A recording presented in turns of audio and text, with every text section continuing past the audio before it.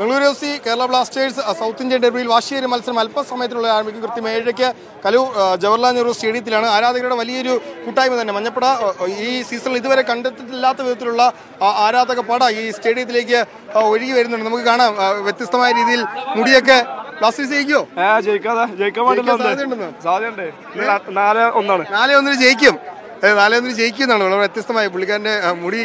ഏതായാലും വളരെ ആരാധകർ വലിയ പ്രതീക്ഷയിലാണ്. പ്രത്യേകിച്ച് ഈ കഴിഞ്ഞ മത്സരത്തിൽ മോഹൻ മുഹമ്മദൻസിനെ തോൽപ്പിക്കാനായ അവസാന നിമിഷം അതിന്റെയൊക്കെ ആത്മവിശ്വാസത്തിലാണ് ബ്ലാസ്റ്റേഴ്സ് എന്ന് പക്ഷേ എതിരാളികൾ അതിശക്തരാണ്. ബംഗളൂരു എഫ് സിയാണ് സീസണിൽ ഇതുവരെ തോറ്റിട്ടില്ല. ഇതുവരെ ഗോൾ വഴങ്ങിയിട്ടില്ല. ടേബിൾ ടോപ്പേഴ്സാണ് പരസ്പരമുള്ള കളികളിലും ബ്ലാസ്റ്റേഴ്സിന് എന്നും അത് വലിയ ഞെട്ടിക്കുന്ന അല്ലെങ്കിൽ ആശങ്കയുളവാക്കുന്ന കള- കണക്കുകളാണ്. പരസ്പരം മത്സരിച്ചപ്പോൾ പത്തൊൻപത് തവണയിൽ നാല് തവണ മാത്രമാണ് ബ്ലാസ്റ്റേഴ്സിന് ജയിക്കാനായിട്ടുള്ളത്.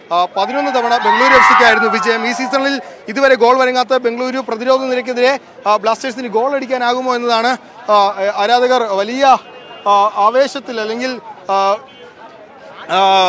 കാത്തിരിക്കുന്നത്. ഏതായാലും മത്സരം അല്പസമയത്ത് നമുക്കിവിടെ ആരാധകരുടെ പ്രതികരണങ്ങൾക്ക് നമുക്ക് എങ്ങനെയാണ്? മത്സരം ജയിക്കുമോ രണ്ട് ഒന്നിന് ജയിക്കും. രണ്ടേ ഒന്നിന് ജയിക്കും. ആരൊക്കെയായിരിക്കും ഗോൾ അടിക്കുക? ലൂണയും പെപ്രയും. ലൂണയും പെപ്പറയും ഗോൾ അടിക്കും. ഏതായാലും വലിയ ആത്മവിശ്വാസത്തിലാണ് ബ്ലാസ്റ്റേഴ്സ് ആരാധകരുള്ളത്. പക്ഷേ അത്ര പെട്ടെന്ന് ബംഗളൂരു പോലൊരു അതിശക്തരായ ടീമിനെ തോൽപ്പിക്കാനാവുമെന്ന് കഴിയുന്നില്ല